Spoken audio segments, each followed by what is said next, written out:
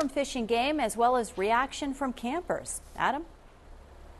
Well, Tiffany, Spofford Lake is a hugely popular destination in the summertime, and people are still enjoying it. But an increasing number of them are concerned and worried by what has happened to so many fish here over the last week and a half. This pristine lake has state biologists scratching their heads. Over the last 10 days, hundreds of dead fish have washed ashore. Initially, it appeared to be just certain types of sunfish in the next few days, we started to get reports of more and more varied species that were washing up on um, beaches and shorefront property.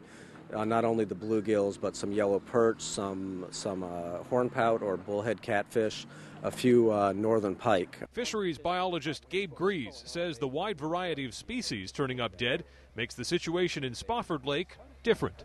The catfish are interesting too because those are very resilient species, um, and to see to see those dying as well um, you know, certainly does does make you, you raise your eyebrows a little bit. Samples are being tested at federal Fish and Wildlife Labs in Pennsylvania. Meantime, lakeside neighbors are still in disbelief at the number of dead fish they've found. We knew something was wrong when we saw it.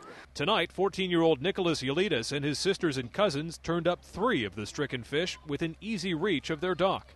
The peak was last Sunday into Monday, and they'd just be coming in wave after wave, and it's just not normal. We've been coming here our whole life, and we've never seen anything like this before. Yeah.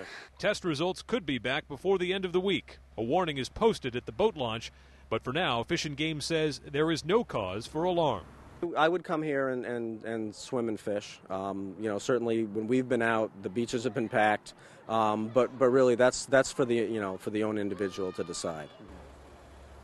Now, Fish and Game says there is no evidence here of any hazardous chemical or point source pollution in the lake, but the possibility does remain that this could be a virus of some sort. However, until those results come back from Pennsylvania, the fish here are classified by the state as eat at your own risk. Reporting live in Spofford, Adam Sexton, WMUR News 9.